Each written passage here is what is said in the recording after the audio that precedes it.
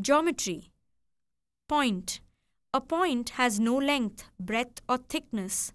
Line segment A line segment has no breadth, but it has length.